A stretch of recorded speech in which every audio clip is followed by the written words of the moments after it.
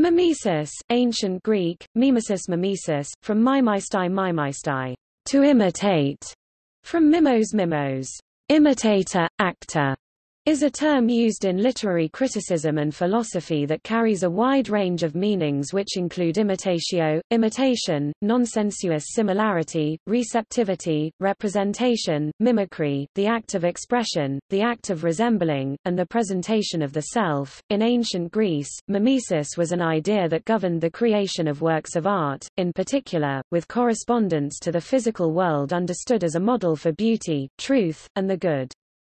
Plato contrasted mimesis, or imitation, with diegesis, or narrative. After Plato, the meaning of mimesis eventually shifted toward a specifically literary function in ancient Greek society, and its use has changed and been reinterpreted many times since. One of the best-known modern studies of mimesis, understood as a form of realism in literature, is Erich Auerbach's Mimesis, the representation of reality in Western literature, which opens with a famous comparison between the way the world is represented in Homer's Odyssey and the way it appears in the Bible. From these two seminal texts, the Odyssey being Western and the Bible having been written by a variety of Mid-Eastern writers, Auerbach builds the foundation for a unified theory of representation that spans the entire history of Western literature, including the modernist novels being written at the time Auerbach began his study. In art history, mimesis, realism, and naturalism are used, often interchangeably, as terms for the accurate, even illusionistic, representation of the visual appearance of things. Mimesis has been theorized by thinkers as diverse as Plato, Aristotle, Philip Sidney, Samuel Taylor Coleridge, Adam Smith, Gabriel Tarde, Sigmund Freud, Walter Benjamin, Theodor Adorno, Erich Auerbach, Paul Ricoeur, Luce Irigaray, Jacques Derrida, René Girard, Nikolas Kompridis, Philippe Lacoue-Labarthe, Michael Taussig, Merlin Donald, and Homi Bhabha.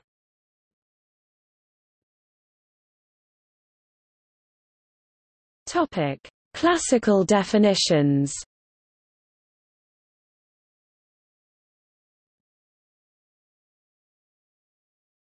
Topic: Plato. Both Plato and Aristotle saw in mimesis the representation of nature, including human nature, as reflected in the dramas of the period. Plato wrote about mimesis in both Ion and the Republic books 2, 3, and X. In Ion, he states that poetry is the art of divine madness, or inspiration. Because the poet is subject to this divine madness, instead of possessing art or knowledge techne, of the subject 532 c, the poet does not speak truth as characterized by Plato's account of the forms. As Plato has it, truth is the concern of the philosopher. As culture in those days did not consist in the solitary reading of books, but in the listening to performances, the recitals of orators and poets, or the acting out by classical actors of tragedy, Plato maintained in his critique that theatre was not sufficient in conveying the truth 540 c. He was concerned that actors or orators were thus able to persuade an audience by rhetoric rather than by telling the truth 535b. In Book 2 of the Republic, Plato describes Socrates' dialogue with his pupils. Socrates warns we should not seriously regard poetry as being capable of attaining the truth and that we who listen to poetry should be on our guard against its seductions, since the poet has no place in our idea of God. In developing this in Book 10, Plato told of Socrates' metaphor of the three beds. One bed exists as an idea made by God the Platonic ideal, or form, one is made by the carpenter, in imitation of God's idea, one is made by the artist in imitation of the carpenter's, so the artist's bed is twice removed from the truth. Those who copy only touch on a small part of things as they really are, where a bed may appear differently from various points of view, looked at obliquely or directly, or differently again in a mirror. So painters or poets, though they may paint or describe a carpenter, or any other maker of things, know nothing of the carpenter's the craftsman's art, and though the better painters or poets they are, the more faithfully their works of art will resemble the reality of the carpenter making a bed, nonetheless the imitators will still not attain the truth of God's creation. The poets, beginning with Homer, far from improving and educating humanity, do not possess the knowledge of craftsmen and are mere imitators who copy again again and again images of virtue and rhapsodize about them, but never reach the truth in the way the superior philosophers do.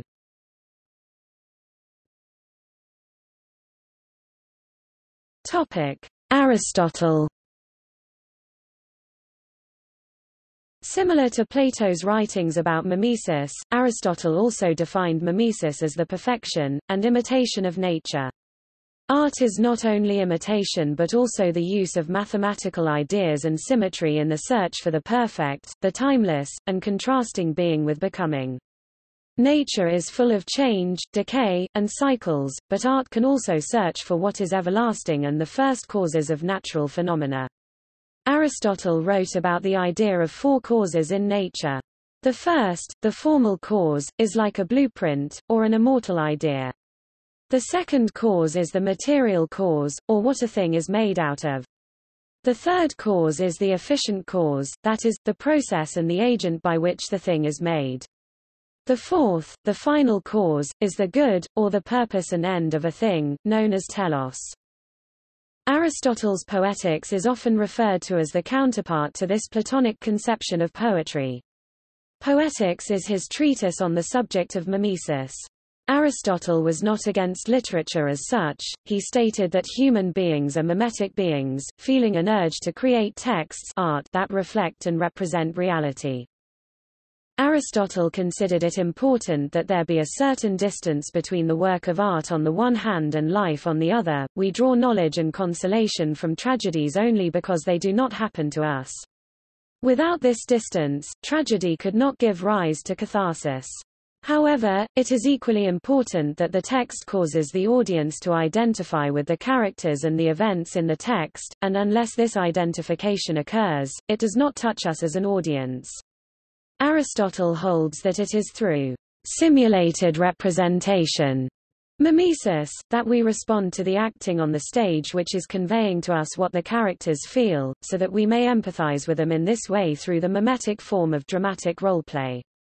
It is the task of the dramatist to produce the tragic enactment in order to accomplish this empathy by means of what is taking place on stage.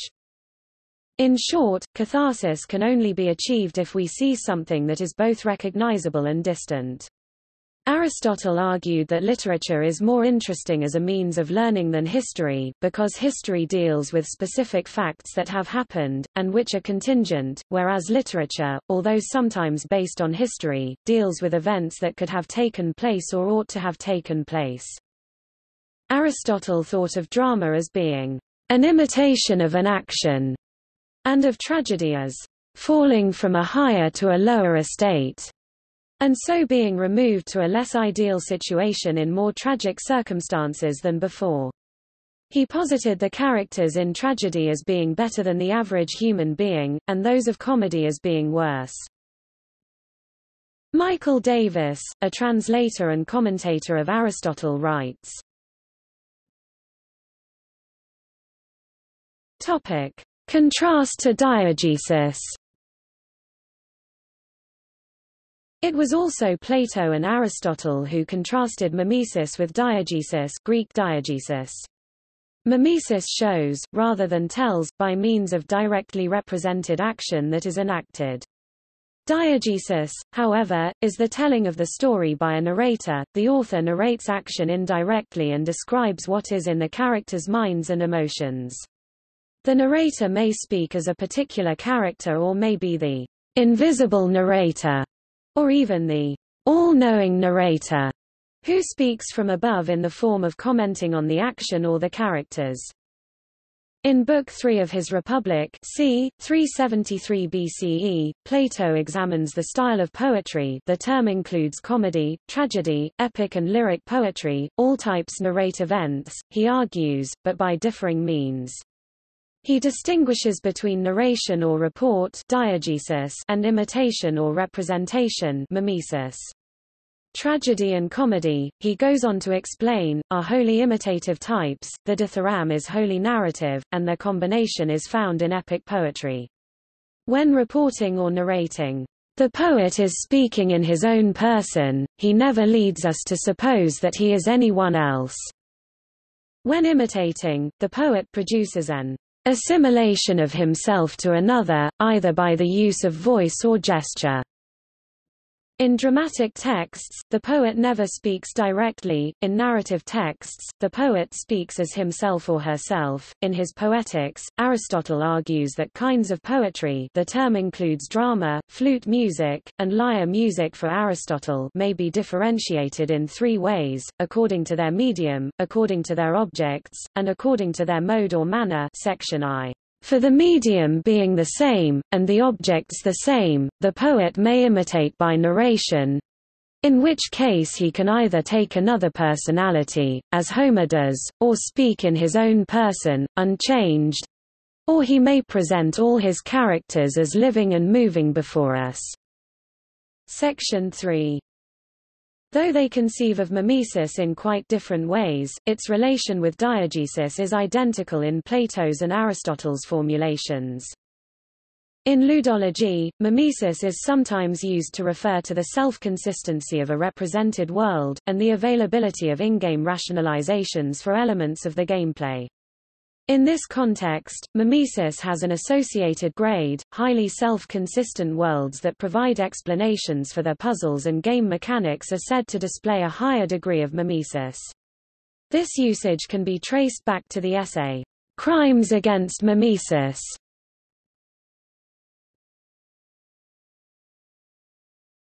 Topic: Dionysian imitatio Dionysian imitatio is the influential literary method of imitation as formulated by Greek author Dionysius of Halicarnassus in the 1st century BCE, which conceived it as technique of rhetoric, emulating, adaptating, reworking and enriching a source text by an earlier author. Dionysius' concept marked a significant depart from the concept of mimesis formulated by Aristotle's in the 4th century BCE, which was only concerned with imitation of nature Instead of the imitation of other authors, Latin orators and rhetoricians adopted the literary method of Dionysius imitatio and discarded Aristotle's mimesis.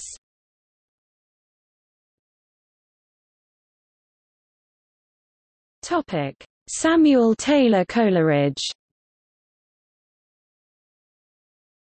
Mimesis, or imitation, as he referred to it, was a crucial concept for Samuel Taylor Coleridge's theory of the imagination. Coleridge begins his thoughts on imitation and poetry from Plato, Aristotle, and Philip Sidney, adopting their concept of imitation of nature instead of other writers. His departure from the earlier thinkers lies in his arguing that art does not reveal a unity of essence through its ability to achieve sameness with nature. Coleridge claims, T he composition of a poem is among the imitative arts, and that imitation, as opposed to copying, consists either in the interfusion of the same throughout the radically different, or the different throughout a base radically the same. Here, Coleridge opposes imitation to copying, the latter referring to William Wordsworth's notion that poetry should duplicate nature by capturing actual speech. Coleridge instead argues that the unity of essence is revealed precisely through different materialities and media. Imitation, therefore, reveals the sameness of processes in nature.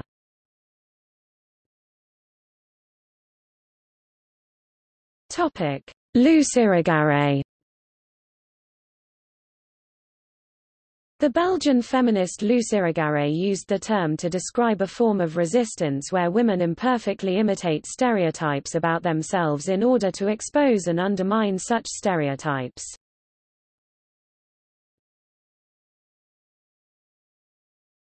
Topic: Michael Taussig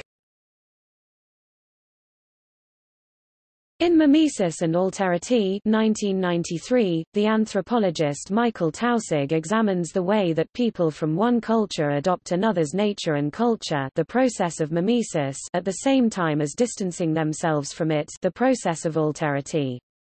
He describes how a legendary tribe, the White Indians, or Kuna, have adopted in various representations figures and images reminiscent of the white people they encountered in the past without acknowledging doing so.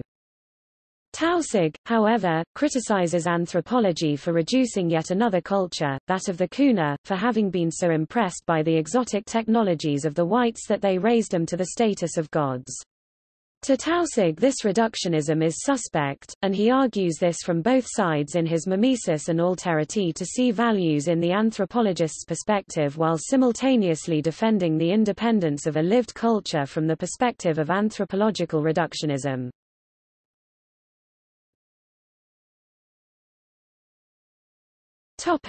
René Girard In Things Hidden Since the Foundation of the World 1978, René Girard posits that human behavior is based upon mimesis, and that imitation can engender pointless conflict.